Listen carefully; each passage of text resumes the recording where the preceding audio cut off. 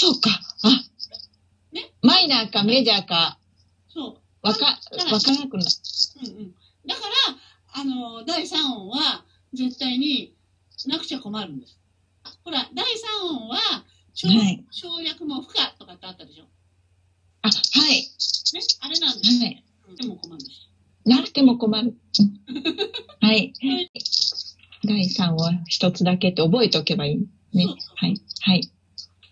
あ、すごくわかりやすいか、く、はい。ありがとうございます。本当に？理由、理由が、あ、こうしっかりわかると、あーって思うので、はい。そうそうそう。そうなんですよ。ね。うんね学校の合わせって、ただダメ。はい。そう、なんか、ま、丸覚えみたいな感じだと、うん。なんだ、なんだったっけかなって感じだけど、そう。うん。理由がわかると、うん。納得して、ね。はい。できるでしょ？ははい。うん。そういうことなんですよ。